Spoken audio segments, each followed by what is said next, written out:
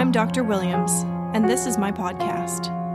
I have two graduate degrees in psychology, am a licensed mental health counselor, and an expert in the area of spirituality. I am devoted to living my best life and am sharing it with all of you.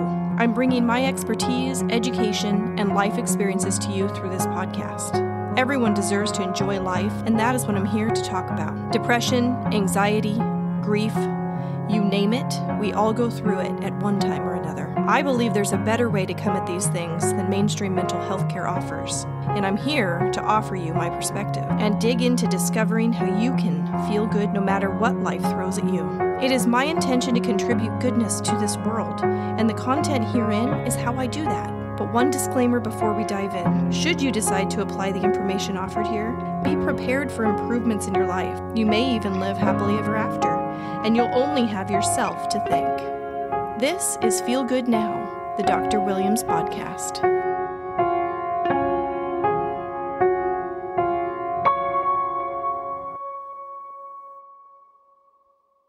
Today's episode is what I am referring to as ground zero. So, this is the introduction to the podcast. And this is actually probably my 17th or 18th recording since I bought um, all my equipment back in March. It's mid June now. So, I've actually been recording for some time and I had been listening to how to start podcast podcasts and they mentioned that it's a good idea to kind of do some recordings and then go back and do your intro when you're ready to start publishing and putting your podcast out there. Now that I'm actually sitting down and doing the introduction for you guys, I realize that everything I've recorded up to this point, I think was just practice.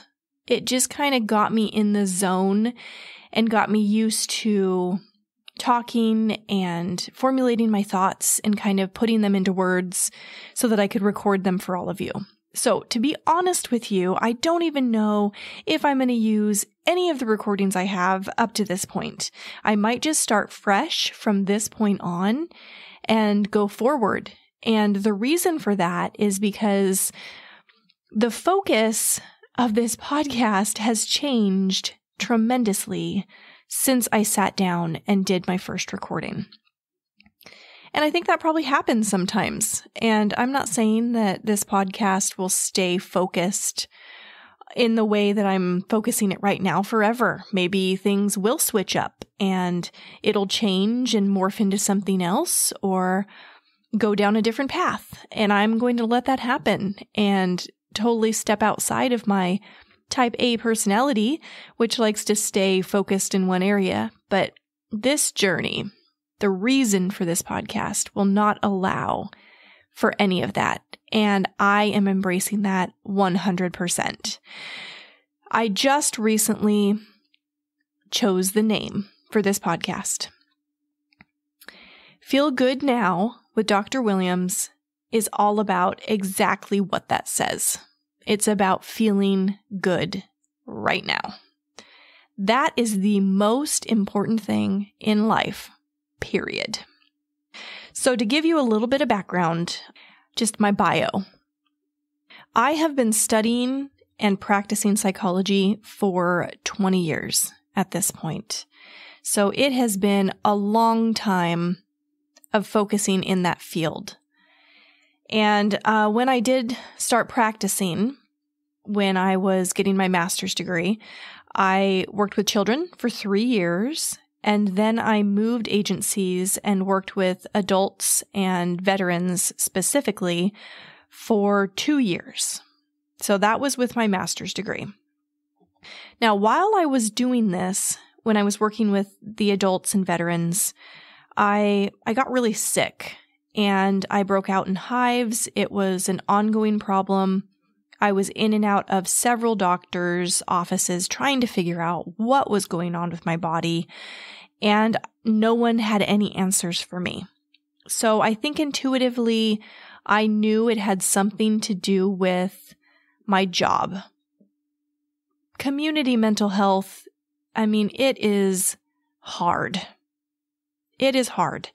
The caseloads are extremely high. I remember my caseload being upwards of 80 people. And that's seen one patient every other week.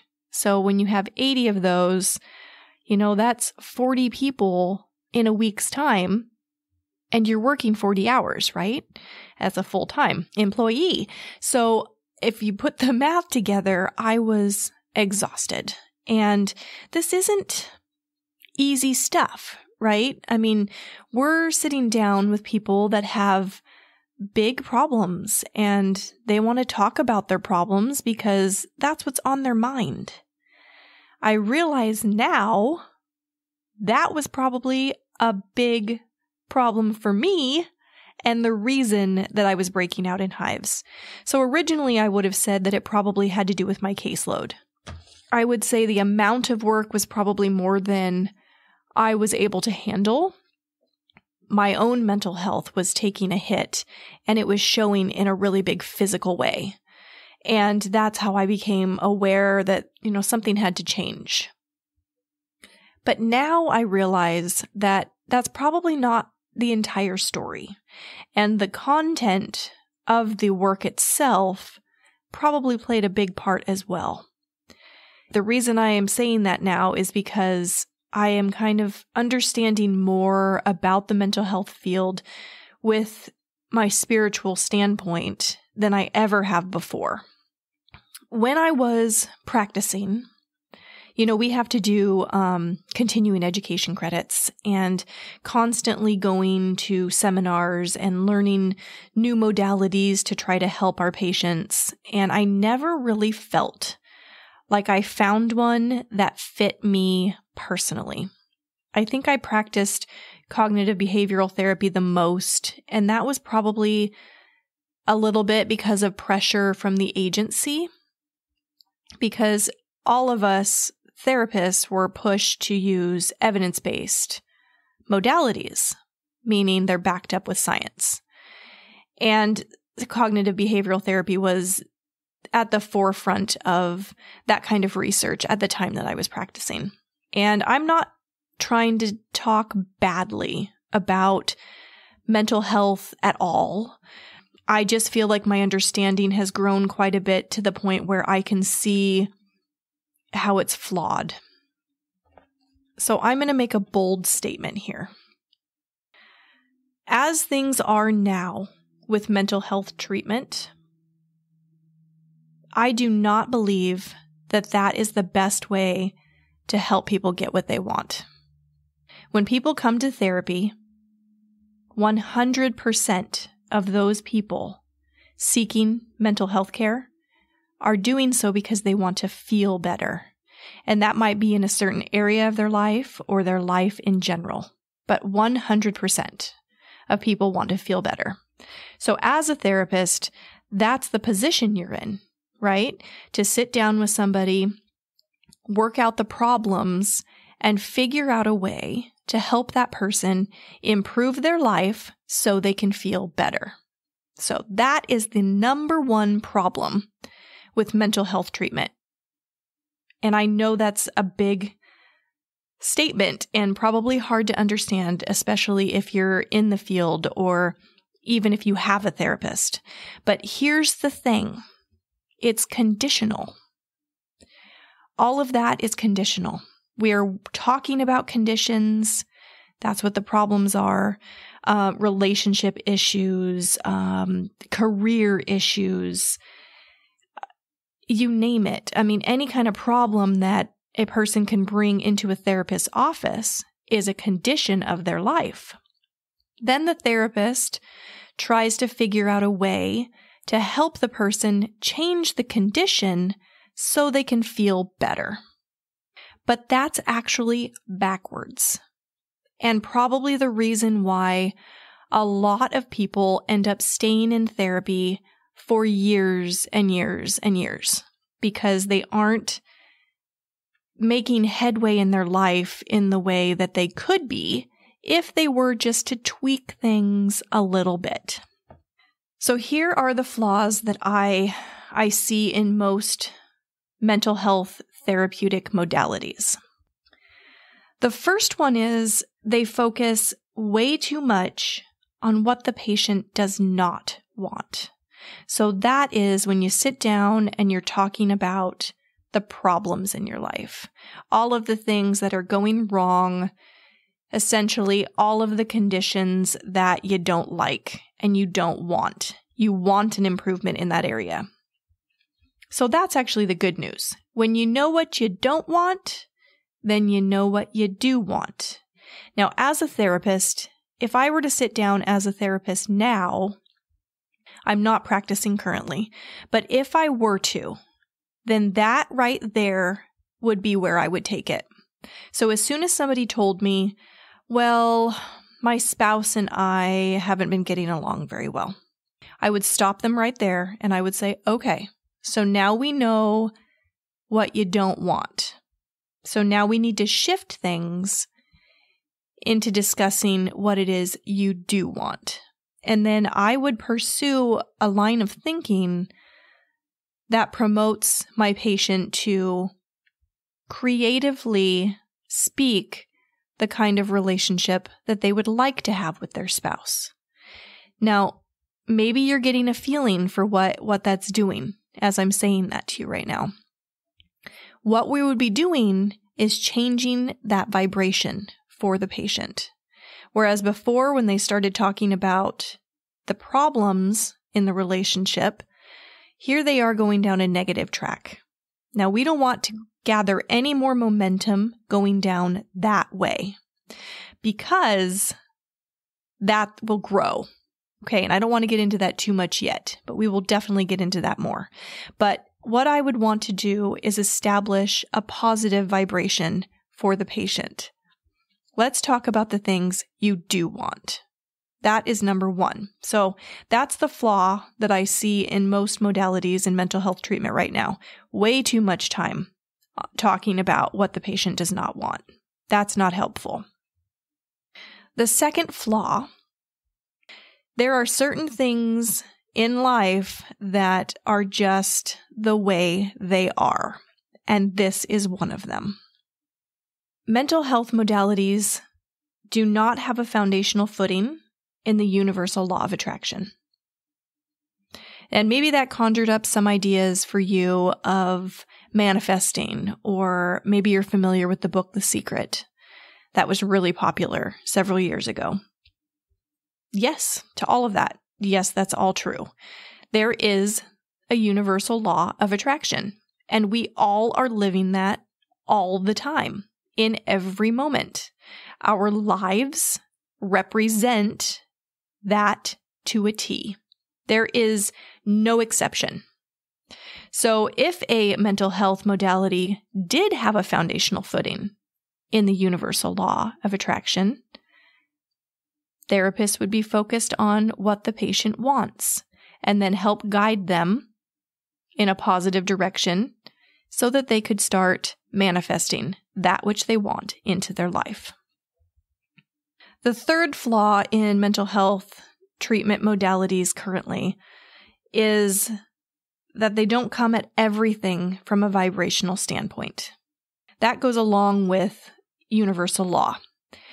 We are vibrational beings and we live in a vibrational universe. That is just the way it is.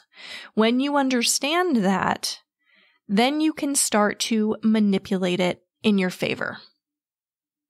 I do want to say at this point, I am not saying right now that there are not mental health practitioners out there helping people.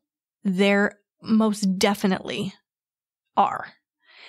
And I'm also not saying that there aren't mental health professionals out there who are doing exactly what I am implying.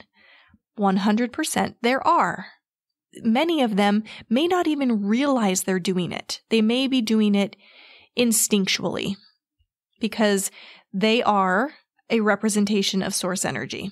And source energy, that is your inner being. We all are source energy. That's God, it's the universe, it's whatever name you like to label it with, but it's the stuff we're all made out of.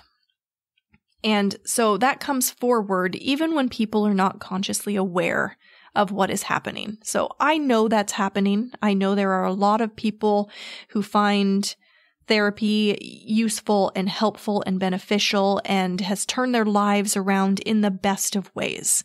So don't get me wrong. I am not here bad mouthing mental health treatment. I am just speaking my truth and I can take all of the information, all of the research that I have done in psychology, and it's a lot, a lot.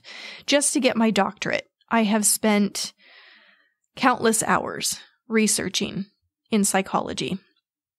But once I found these truths, it all just became clear to me that this is really the basis for all of life.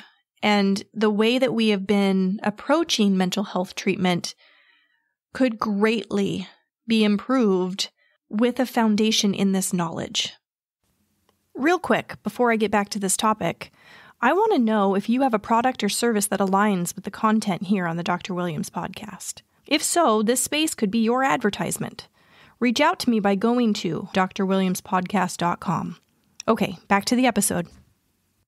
The fact is, a hundred percent of people would improve their lives if they practiced feeling good right now in the moment. That means exactly what it implies. Every single moment is an opportunity to feel good or a lack of feeling good. Now, there's a range of emotions in there, right? You know, obviously, we aren't just only feeling good or only feeling bad. There's a lot of things in between that lean one way or the other. It's a continuum. But that's the simplest way I can put it. The most important thing in in any moment, this moment right now for you, right now, is to feel good. Find it. Find it in whatever way you can, in whatever way necessary. Originally, I was motivated to do this podcast with the intent of helping people. I think that's kind of just at my core. You know, that's why I went into the field of psychology to be a therapist. I really wanted to help people. And from what I understand, discussing with my my patients in the past, they always felt that I did help in some way. And I always established a very good rapport with my patients. And that was the most important thing. And they teach you that when you're in doing continued education and things like that. They teach you that in the therapeutic relationship, the relationship you establish, the rapport you have with the patient is the most important thing in the therapy process. So I was good at that, according to my patients. But I realize now that I am the same as everybody. We are all extensions of source energy, and we all have the same power to create the life that we want. The best way I can do that is not by guiding others to do it, though I may use my own life as a testament of it for those to witness. And if that's beneficial to people, then very cool. Like, I love that. I hope that more people can use their own lives to inspire others. That's tremendous. But really, my intention is just to share my own journey with you. I want more than anything to connect with other people who are also celebrating life. That's why we're here. Every single one of us designed this life and chose to be here, wanted it more than anything. We wanted this moment right here. We wanted it. We are connecting right now. You are listening. I am talking to you. I feel it in my body right now. Like I feel my own alignment speaking this truth. This moment right here, this is ours. Here we are. We are connecting. And it feels so good. And that's why I'm doing this. I want to celebrate. I don't want to talk about negative things that are going on in people's lives and try and get them to turn that around. I want to talk about all the great things because that, that is what creates our reality. All of us collectively feeling good now in our moment is creating our own individual reality. When we all do that together, just think about it. Think about it. That is what changes the world. That is what gets us to where we really want to be in perfect harmony on earth with each other.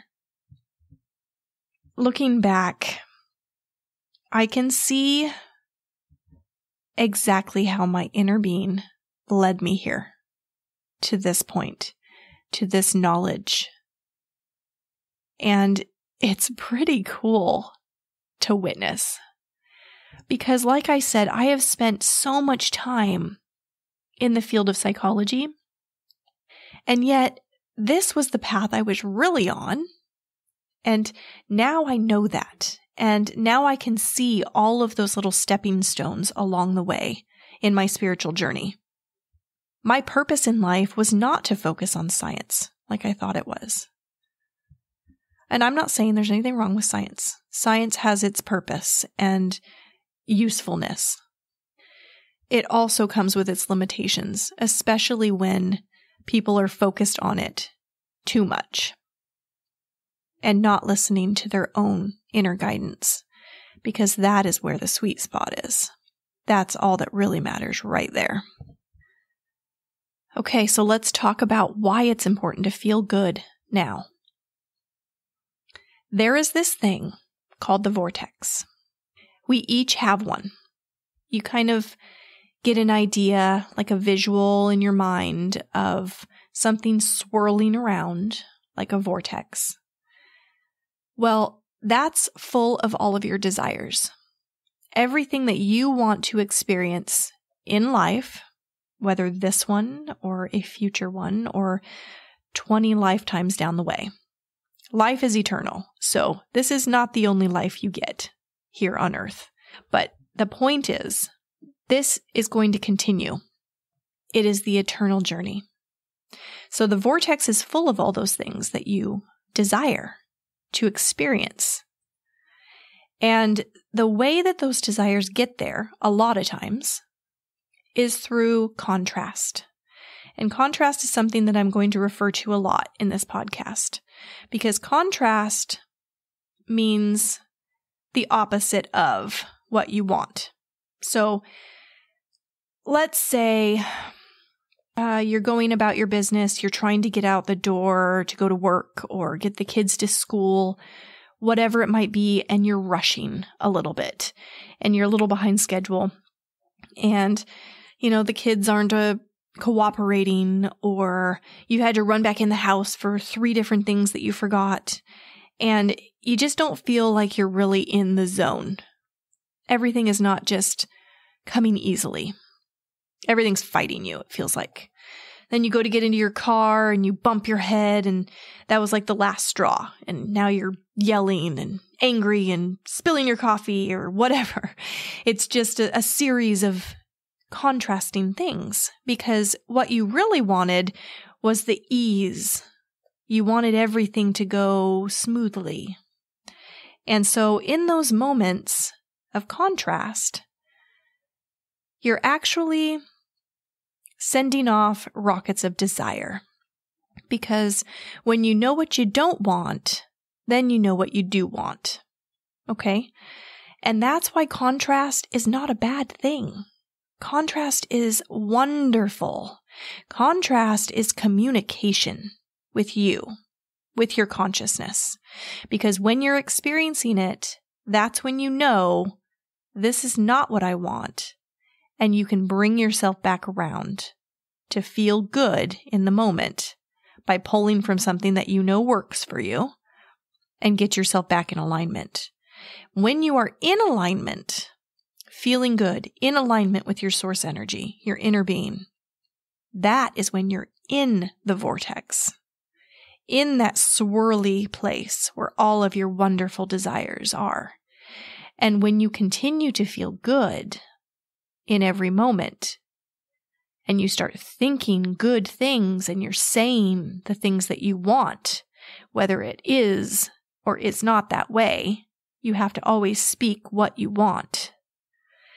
Think those thoughts. Now, those things are turning into reality. And that is how you get everything you want in life. And when you are able to do this regularly, on purpose, that is when you are a deliberate creator. Being a deliberate creator means that now you're in the driver's seat. You know what to do in order to manifest whatever you want in life. The key to it? Feeling good right now. And this is probably going to take some practice. This is a lifestyle change. If you're just going along, not thinking about things on purpose, not being careful what you say, and definitely not purposely feeling good, things are just happening. And some things are good. You're creating some good things for those times that you are feeling good. You're pulling from that vortex. And then on the times you're feeling bad, that's when you start experiencing more bad. Because whatever you focus on, your focus is important. Whatever you focus on, that is what you get. So, you know that cliche that shrinks say, Yes, and how does that make you feel? Well, here I am, a shrink, and that's my question to you. In every moment, well, how are you feeling? That's that's what you need to be asking yourself. How am I feeling right now? And if it's anything less than good, pop back over to good. Okay, so let me just interject here.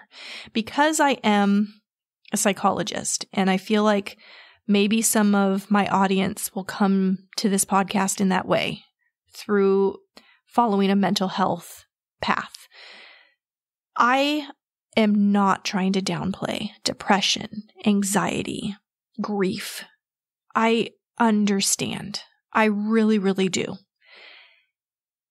When I say just pop back over to good feelings, I am not trying to downplay the very real negative emotions that are in your life. Those are, they are real and they are extreme. But what I am saying is, you have the power to turn that around, and only you have that power.